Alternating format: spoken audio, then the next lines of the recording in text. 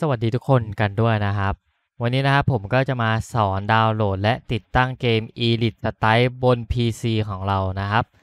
สำหรับใครที่ไม่ถนัดเล่นในโทรศัพท์มือถือหรือว่าใช้พวก iPhone ระบบปฏิบัติการ iOS อะไรแบบนี้นะครับ แล้วอยากเล่นนะครับ โอเค ก็หลายคอมเมนต์แล้วนะครับ สอนดาวน์โหลดหน่อยอะไรอย่างนี้ใช้โปรแกรมอะไรเล่นนะครับ วันนี้ผมก็จะมาบอกนะครับ ซึ่งโปรแกรมจำลองที่ผมจะใช้นะครับ ก็จะเป็นตัวนี้เลยนะครับ เดี๋ยวผมจะทิ้งลิงก์ไว้ให้ใต้ description แล้วกันนะครับ พอมาถึงหน้าเว็บนี้แล้วใช่ไหมครับ มาตรงนี้ครับ ตัวหนังสือสีเทานะครับ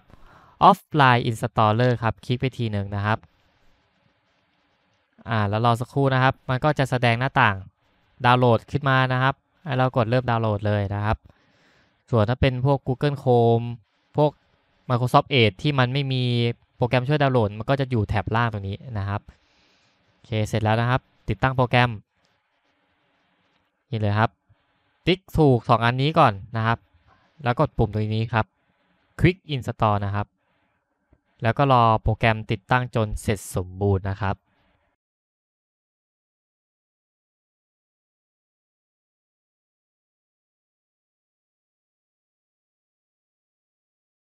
เมื่อติดตั้งเสร็จสมบูรณ์นะครับ เราก็กดเปิดโปรแกรมได้เลยนะครับอ่าแล้วรอโปรแกรมโหลดสักครู่นะครับ จนครบ 100%นะรอสักครู่โอเคมาแล้วนะครับโอเคอันนี้เป็นคำแนะนำปิดไปนะครับ ตรงกากบาทตัวนี้นะครับ แล้วมาที่ Play Store นะครับ แล้วก็ ล็อกอินนะครับ โดยใช้ Gmail ของเรานะครับ หลายๆ คนก็มีอยู่แล้วแหละนะครับ นี่กดเลย Sign in นะครับ อ่า แล้วก็ล็อกอินใส่อีเมล password อะไรให้เรียบร้อยนะครับ เมื่อล็อกอินเสร็จเป็นที่เรียบร้อยแล้วนะครับ ให้มาช่องค้นหาเกมนะครับ พิมพ์ไปเลยนะครับว่า Elite Strike นะครับ เลือกอันบนสุดนะครับ แล้วก็จะเจอกับเกมนี้นะครับ Elite Style ของค่าย Sun Grey นะครับ อ่าเอาใหม่ตะกี้แอปเด้งเหมือนมันมีการอัปเดตนะครับ นี่เลยนะครับ นี่เกมของเรานะครับ ให้กดปุ่มสีเขียวครับ install นะครับ แล้วก็รอจนกว่ามันจะดาวน์โหลดและติดตั้งเสร็จนะครับ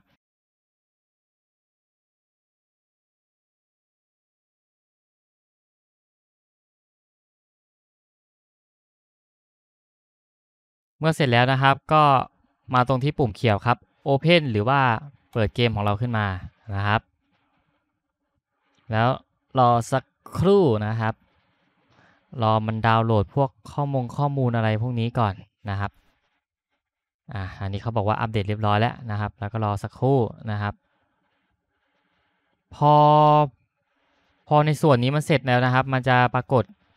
หน้าล็อกอินนะครับ ว่าเราสามารถล็อกอินด้วย Facebook อะไรพวกนี้นะครับ ก็มีพวก Facebook หรือของ Google หรือว่าไม่ก็จะเป็น Line นะครับ แล้วก็ Guest Guest นี่ก็คือเราไม่ต้องสมัครอะไรเลยนะครับ แต่ว่าข้อมูลตัวละครเราเนี่ย มันจะถูกบันทึกเข้าไปในเครื่องโทรศัพท์มือถือแทนนะครับ ตามความเข้าใจนะ ถ้าสมมุติว่าเราล้างเครื่องหรือฟอร์แมตอะไรอย่างเงี้ยนะครับ คือข้อมูลของตัวละครนั้นมันจะหายไปเลย ไม่สามารถกู้คืนได้นะครับ ผมก็แนะนำให้ล็อกอินเป็น Facebook ดีกว่านะครับเนี่ยอย่าลืมติ๊กตรงนี้นะก่อนล็อกอินนะครับไม่งั้นเราล็อกอินไม่ผ่านนะเมื่อล็อกอินเสร็จมาเป็นที่เรียบร้อยแล้วนะครับ เราก็เริ่มเข้าสู่หน้าล็อบบี้นะครับโอเค การดาวน์โหลดและติดตั้งก็เสร็จเป็นที่เรียบร้อยแล้วนะครับ ที่เหลือก็คือการตั้งค่าปุ่มนะครับ การตั้งค่าปุ่มเราทำยังไง นะครับ ก็ง่ายๆไม่ยากเลยนะครับ ก็มาที่การตั้งค่านะครับ ตรงรูปเฟืองตัวนี้เราจะมีรูปประแจด้วยนะครับปึ๊บแล้วมาที่ Control นะครับ แล้วมาที่ปุ่มนี้ครับ Custom Button นะครับ หรือถ้าเกิดใคร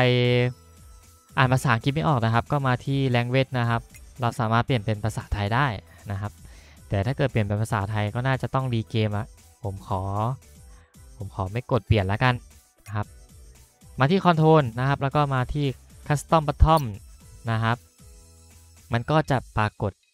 หน้าการตั้งค่าปุ่มนะครับ แล้วทำยังไงต่อล่ะนะครับ ก็มาตรงนี้ครับ มาตรงรูปคีย์บอร์ดตรงนี้นะครับ ใกล้ๆกับตรงคำว่าขยายหน้าจอนะครับ มันจะใช้ชื่อว่า key mapping นะครับ กดมาทีหนึ่งปุ๊บอ่ามันก็จะปรากฏอย่างนี้นะครับ ให้เราทำไงล่ะ ก็ทำตามผมเลยแล้วกันนะครับ นี่นะปุ่มเดิน WASD คลิกซ้ายไปทีหนึ่งนะครับ แล้วคลิกซ้ายวางไว้แถวๆบริเวณนี้นะครับ ปุ่มที่เราต้องการไว้เดิน นี่เราวางไว้ตรงนี้เลยนะครับ โอเคต่อมาก็อ่าปุ่มอะไรเดียมันมีพวกปุ่มกระโดดย่อเต้น เปลี่ยนอาวุธอะไรพวกนี้นะครับ ก็ทำตามผมเลยแล้วกัน ก็แล้วแต่ แล้วแต่ความถนัดเลยนะครับอ่าอย่างของผม อย่างเช่นตัวย่อนะ ตัวนั่งอ่ามาตรงนี้ครับ ตัวที่เป็นรูปตัว A นะครับ คลิกซ้ายทีหนึ่งปุ๊บ มันก็จะขึ้นเป็นวงกลมตรงหน้าจอนี้ใช่ไหม เราลากมาวางไว้ตรงนี้ปุ๊บ คลิกทีหนึ่งจากนั้นมันบอกว่าให้เราใส่อะไรไปเลยก็ได้ เออ หมายความว่าปุ่มที่เราต้องการจะตั้งนะครับ อย่างเช่นตัวย่อตัวนี้ผมจะตั้งเป็นคอนโทรลนะครับ กระโดด ทำเหมือนเดิมเลยนะครับ คลิกวาง กด space bar อันนี้คือกระโดดนะครับ ผมจะตั้งเหมือน X shot เลยนะอะเต้นผมกดตัว V ส่วนสลับระเบิด ผมจะตั้งเป็นเลข4เลข4เลข4นะเลข4ปึ๊บ4ข้างบนนะ ไม่ใช่ numpad 1 2 3 4 ด้านข้างนะ ต้องเลขด้านบนนะ แล้วก็ ปืนหลักอาวุธหลักผมจะตั้งเป็นเลข 1 อาวุธรองจะเป็นเลข 2 ระยะประชิดจะเป็นเลข 3 นะครับ แล้วก็ reload กระสุน reload กระสุน ตรงนี้ ผมจะตั้งเป็นตัว R นะครับ เปลี่ยนลูกกระสุนโอเคแล้วก็อันนี้ของมัมมี่นะของมัมมี่อันนี้ผมจะตั้งไว้เป็น F ส่วนตัวนี้สีฟ้าผมจะตั้งไว้เป็น เป็น G นะครับ ออกมาขอบๆหน่อยนะครับ ประมาณนี้ก็พอแล้วตัว G โอเคเราสามารถปรับอันนี้ได้เคลื่อนย้ายได้นะครับ แล้วก็เปลี่ยนอาวุธสลับอาวุธหลักรองอะไรเงี้ย ผมจะตั้งเป็นตัว Q นะครับตัว Q ส่วนอันนี้ผมไม่แน่ใจตัวนี้ผมขอผ่านไปกันแล้วกันนะครับ แล้วก็ไมโครโฟนไมโครโฟน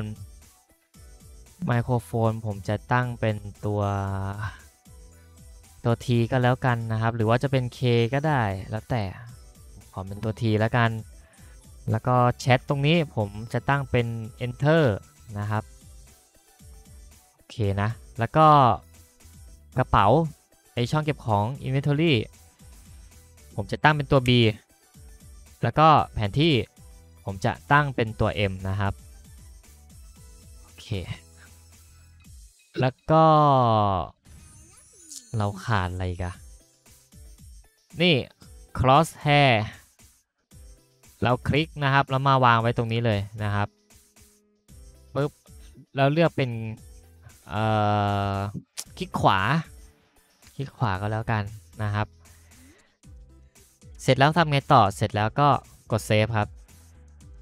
อะกดเซฟปุ๊บอะอันนี้ก็เป็นวิธีการตั้งค่า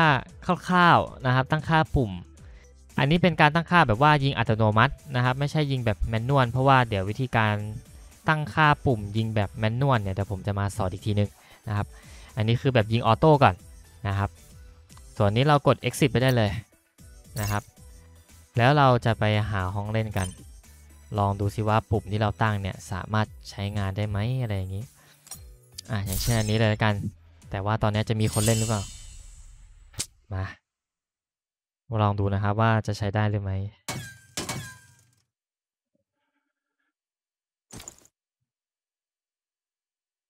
มา Okay, move out. อ่าถ้าเกิดมันขึ้นรูปเมาส์งี้นะครับ เป็นรูป cursor ให้เรากดคลิกขวาทีหนึ่งนะครับ แค่นี้เราก็สามารถเลื่อน ซ้ายขวาขึ้นลงได้แล้วนะครับอ่าเราลองกดเดินหน้าซ้ายขวาหน้าหลังได้ไหมอ่าได้นะครับ กดตัว V สามารถเต้นได้ control ย่อยืนได้ space bar กระโดด แล้วก็คลิกซ้าย คลิกซ้ายมันจะยิงไม่ได้นะ เพราะว่าเราตั้งเป็นโหมดอัตโนมัติอยู่เห็นไหม ตรงใกล้ๆแผนที่จะมีคำว่าออโต้ไฟนะครับ ให้เราลองกดคลิกขวา ลิกขวาแล้วกดปิดดูนะครับ มันก็ยังยิงไม่ได้ เพราะว่าเราต้องเอาเมาส์อะมากดยิงเอง เพราะว่าเราไม่ได้ตั้งปุ่มส่วนนี้ไงนะครับ ก็เอาไปประยุกต์ใช้ได้นะครับอ่าแต่ถ้าเกิดเราเลือกเป็นออโต้ไฟล์นะครับ เราก็เล็งไปที่ศัตรูครับแล้วคลิกซ้ายค้างดู เห็นไหมมันจะยิงให้นะครับอ่าเราสามารถกดตัว R เปลี่ยนกระสุนได้นะครับ กดตัว B อ่ากดตัว B ไม่ติดหรอวะหลอน อ่าเราสามารถกดตัว Q สลับอาวุธหลักอาวุธรองได้ไอพวกอาวุธก่อนหน้านี้อ่าอย่างเช่น ผมใช้ปืนกลหลัก เรามาใช้ปืนพก สามารถใช้งานได้ปกตินะเลข 3 ใช้มีดได้ กดเลข 1 อาวุธหลัก เลข 2 อาวุธรอง 3 ระยะประชิด กด enter พิมพ์แชทได้ กดตัว T เปิดปิดไมค์เอ่กดเลข 4 ระเบิด โอเค อันนี้น่าจะ work แล้วนะครับ เราห้ามกดคลิกขวานะครับเพราะนี่เป็นการตั้งค่าสำหรับการยิงอัตโนมัตินะครับ ส่วนใครที่แบบว่าจะตั้งแบบยิง manual อะไรอย่างนี้ก็ประยุกต์ใช้ได้นะครับเนี่ยถ้าผมตั้งยิงอัตโนมัติเนี่ยเป้ามันจะล็อกให้อัตโนมัติเลยนะครับ ก็โกงกันเลยทีเดียวนะครับอลองยิงดูเนี่ยผมลองยิงดูนะอ่าก็ลื่นๆครับคอมแรงก็ลื่นไปนะครับโอ้ถอยถอยก่อนลบก่อน อ่าเต้นก่อน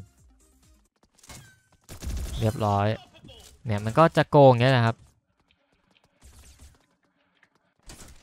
เพื่อนเราอ๋อเพื่อน นี่เห็นปะมันล็อกหัวเองอะไรเงี้ย ผมรู้สึกว่ายิงแบบแมนนวลอะมันจะง่ายกว่าแต่ว่า แต่ว่ามันไม่ค่อยอำนวยเวลาเราหันเมาส์ซ้ายขวา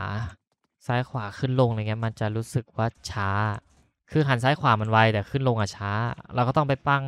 ตั้งความไวกันเองอีกทีหนึ่งนะครับเอาซีดีเออตายเลย